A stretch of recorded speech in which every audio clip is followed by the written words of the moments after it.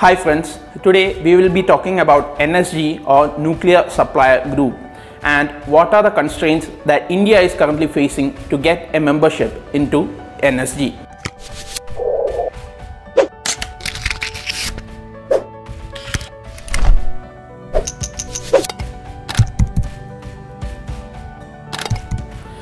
NSG is a group of countries that seek to prevent nuclear proliferation by controlling the export of materials, equipments and technology to avoid manufacturing of nuclear weapons by countries that intend to do so.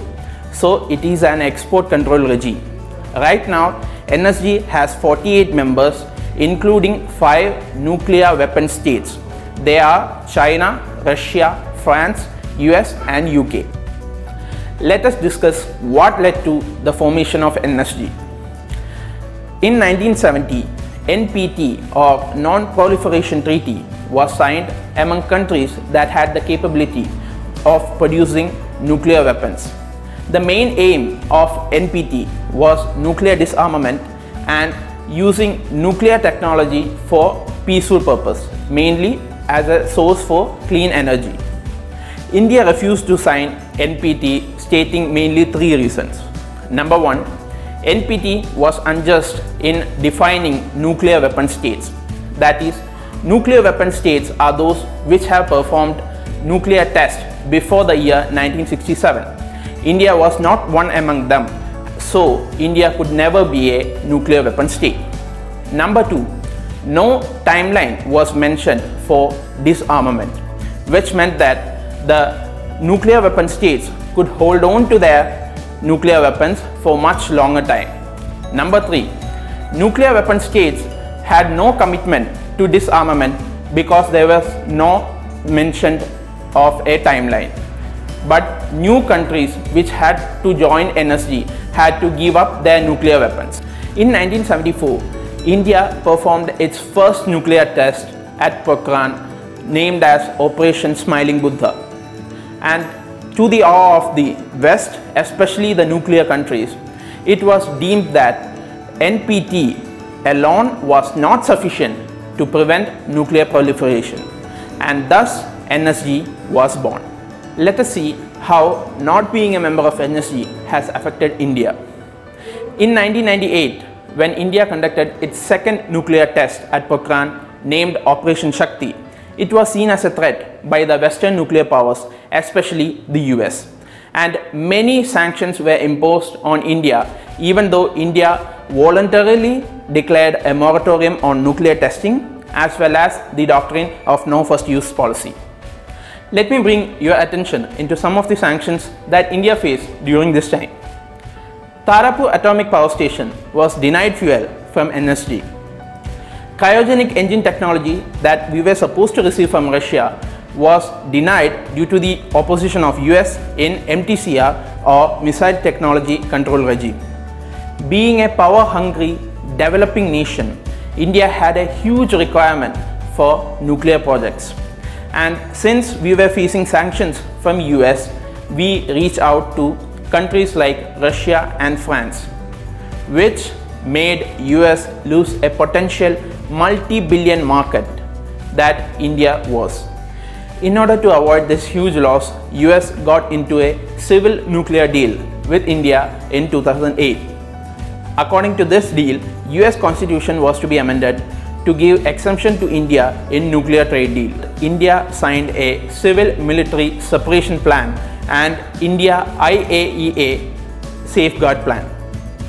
After this, US diplomacy helped India get its NSG clean waiver which allowed us to procure nuclear materials without having a NSG membership.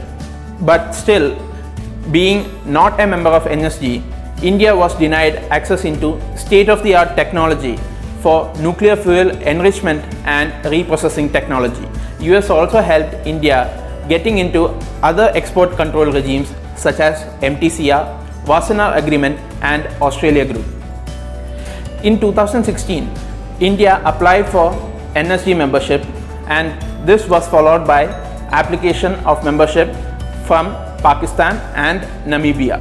While a majority of 48 members of NSG backed India's claim for a membership, many countries, especially China, opposed it. China was reluctant in giving NSG membership to India, stating that India was a non-NPT country. So the question is, why do we need NSG membership? Number one, it will essentially increase India's access into state-of-the-art nuclear technology currently owned by other members of the NSG. And it will help India in achieving the industrial boom that we require to have a sufficient economic growth.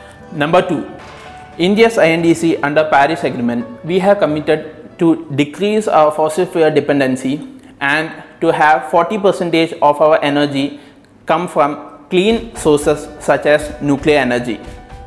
Number 3. Pelindaba Treaty which controls the flow of nuclear materials from Africa to the rest of the world have prohibited countries like Namibia which is the fourth largest producer of uranium to have a trade with India as India is a non-NSG country. Let us discuss what are the factors that legitimize the claim of India to have an NSG membership. France was a founding member of the NSG, but at the time, France was not a signatory of the NPT. India is committed to non-proliferation of nuclear materials, because of which we have voluntarily declared a moratorium on nuclear testing as well as we have accepted and adopted the doctrine of no first use policy. India has a clean track record with agencies such as IAEA that is the International Atomic Energy Agency and all our civilian nuclear facilities are open to IAEA inspections. Have NSG succeeded in its objectives? The answer is clearly no. China is a member of NSG, but as we all know, China has been providing countries like Pakistan and North Korea, which are not NSG members, with nuclear technology and materials by circumnavigating the NSG guidelines. So in fact, NSG has failed in its purpose. Thank you.